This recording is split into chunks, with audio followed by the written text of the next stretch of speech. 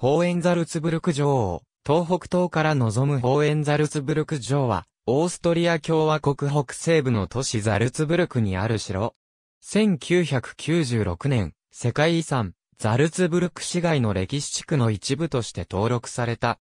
ザルツブルクの街並みと1077年、神聖ローマ皇帝ハインリヒ4世とローマ教皇、グレゴリウス7世の間に起きた、聖職上人権闘争後に、強硬派の大司教、ゲプハルト・フォン・ヘルフェンシュタイン一世が、皇帝派の南ドイツ諸侯のカノッサの屈辱への報復を恐れて、市の南端、メンヒスブルク山山町に建設した防衛施設。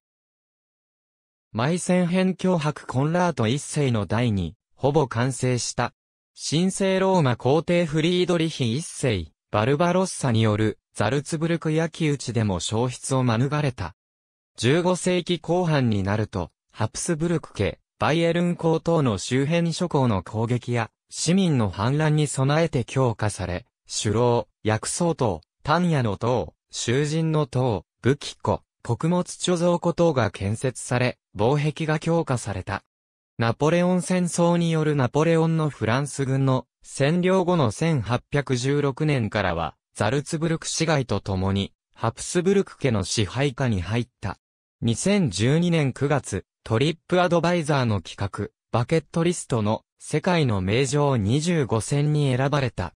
ホーエンザルツブルク城とザルツブルク市街とザルツハ川、ライスツークフェストゥングスバーン、デジタル大事戦の開設。コトバンク。2018年5月13日閲覧。